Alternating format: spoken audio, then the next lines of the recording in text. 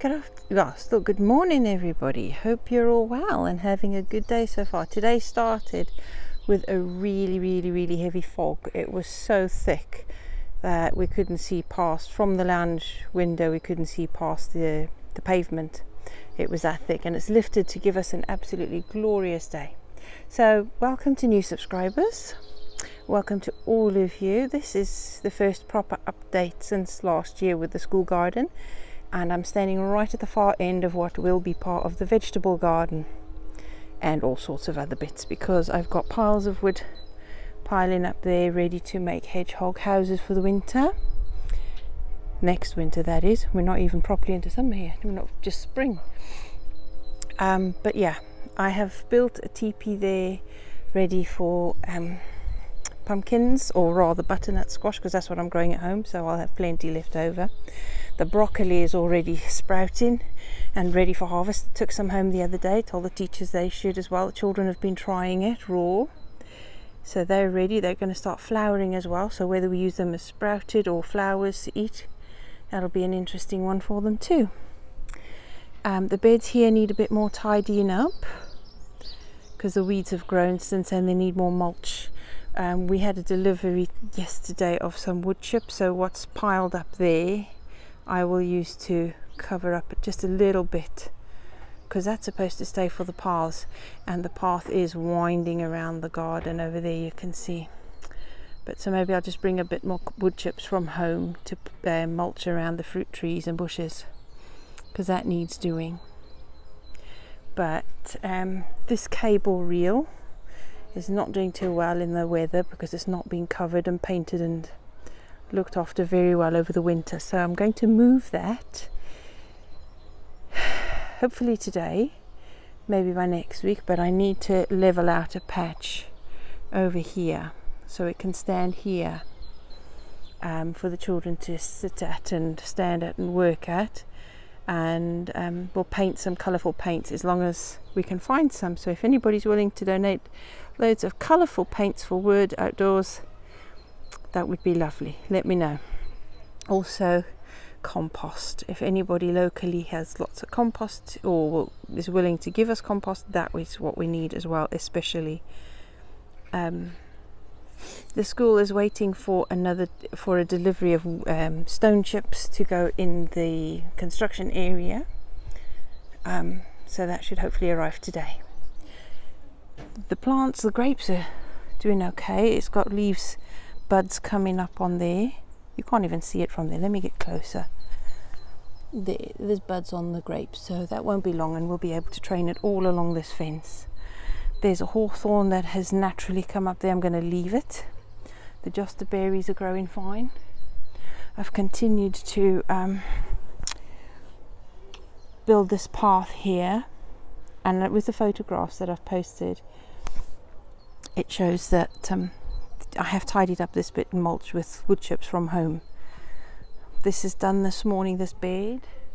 This one is prepared this morning. And I've put some spinach, some chard, some onions, and some forget-me-nots in here. And hopefully soon we'll have lots of marigolds and lettuces as well. Same as here. I might just get something more perennial in this corner because it's potentially a slug paradise in that corner. This is where all the stone chips are going to go for the children. And that's a muddy play area for them to dig in. That area on the fence, we're going to stick some construction netting and then hang lots of colourful bits and pieces hanging on there. Um, these beds are nicely being looked after by the children. Um, that's what it looks like so far. We're not quite finished with that seating area. We've put some fake turf on there. I built up the level of the grass because obviously it was sloping quite badly.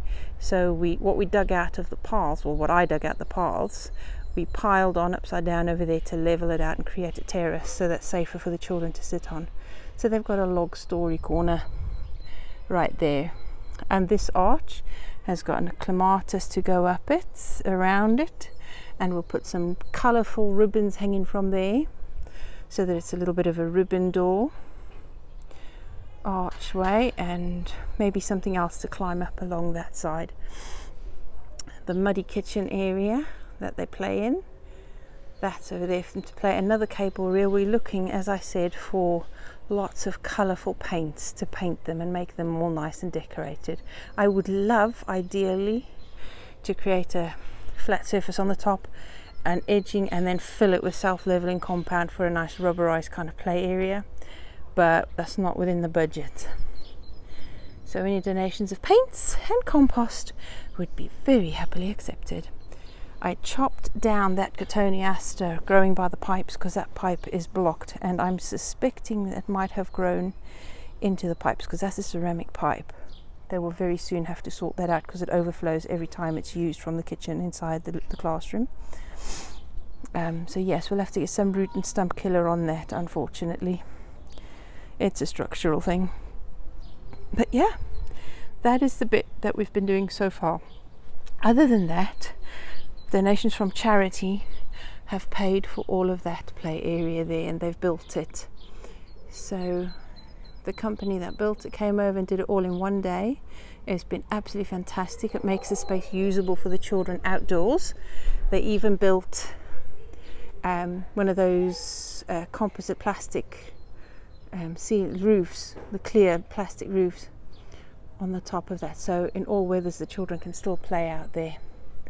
So it's lovely. It's been really enjoyable, and I've done this is three days now at the garden because we've had to do it all in a rush. So all other work, the crafts, everything else has had to take a side step.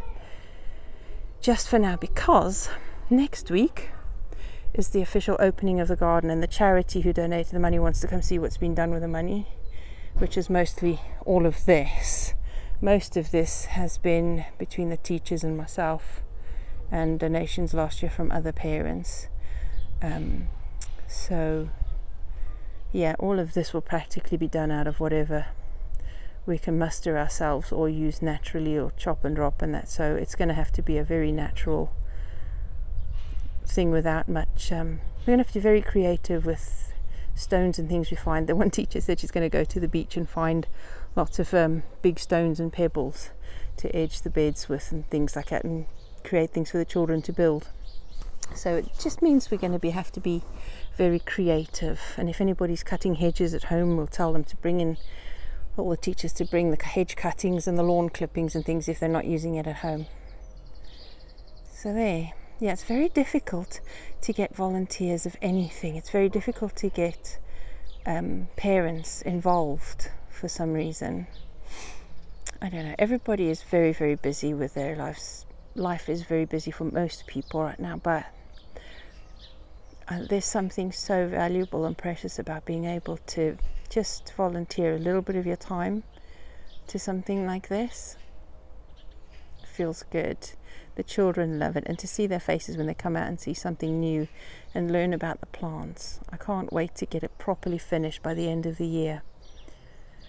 So, yeah, I just had a thought actually. Well, I've got corn sprouting ready to go in pots ready to be planted out. And I thought hang on a second by the time they go in the ground through the school summer holidays which is six whole weeks they'll be at their most important growing stages. So will that be a problem? There'll be nobody to come into the school grounds to water and look after them. Oh well.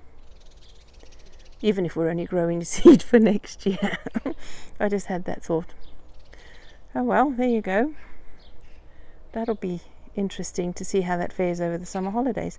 All of those fruit bushes and trees and that, they're, they're perennials. So, and I really did water really well last year in the autumn and I put newspaper and cardboard and loads of wood chips and compost down. So that really did look after them since November right the way through till now because I haven't been watering. I don't think the children have, especially like they've had lots of holidays and nobody's really been out here and they've looked after themselves. So that's the kind of stuff we like. Things that look after themselves. The school have bought a new sail for those, so there'll be a sail that goes on those poles, so that'll be there soon. Where the cable reel is now, and I want to move it in a bit, we're going to put all the tires in a circle ready for the bean poles so that we can grow the climbing beans up there in a couple of weeks when they're ready to go out. But in the meantime, yes, we need a lot of compost to fill those tires. I'll obviously continue digging up the paths and using the soil squares, the blocks that I dig up to fill some of the bottoms of the tires and make new beds along the paths. So you can see along the edges, wherever we dig up paths, I'll make new beds. Otherwise, I'll have to chop some cardboard up into shapes of beds along the paths and just pile on loads of compost over the winter so that we've got beds either side of the paths. There'll be lots of little paths and little things to go to. That'll be really good. So anyway, we've reached 10 and a half minutes, be 11 by the time I'm finished here, and that will take an entire day to upload with my new provider.